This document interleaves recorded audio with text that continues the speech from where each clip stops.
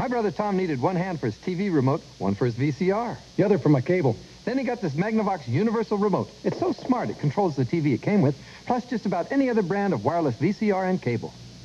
Yeah, single-handed.